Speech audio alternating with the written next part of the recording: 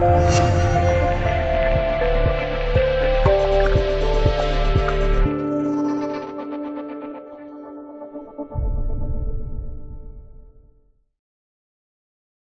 美国方面称，日前空军部长在一次接受媒体采访中透露了美军各个军种准备将一起联合起来，共同开发高超音速武器的计划。此消息一出，立刻引发了外界的关注。要知道，早在高超音速武器这个概念提出之前，美国的海陆空三军就拿出了自己的高超音速武器研制方案。而现如今联合开发高超音速武器，又是唱了哪一出？这让人十分的不解。要知道，其海军和空军是早就有高超音速武器的研制计划的，并为此项目投入了非常大的资金和研发力量，取得了不小的进展。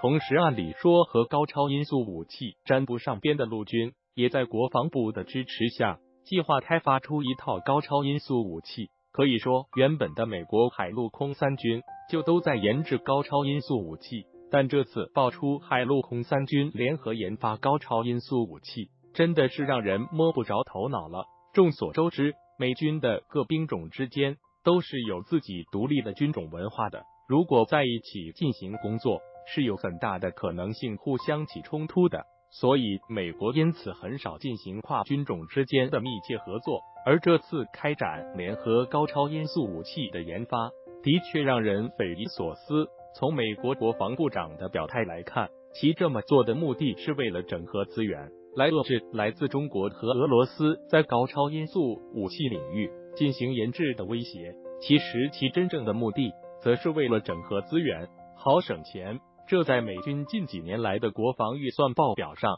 就可以看出来。研制高超音速武器是很烧钱的，无一个兵种都进行该类型的武器研制，肯定是一笔不小的开支。并且海陆空三军都有高超音速武器，难免会出现性能重合的情况，无疑又会对原本就紧张的军费造成更大的浪费。所以，为了节省军费，将利合在一处使。才是对于美军来讲最正确的选择。尽管如此，但肯定是能提高美军在高超音速武器方面上的研发效率的。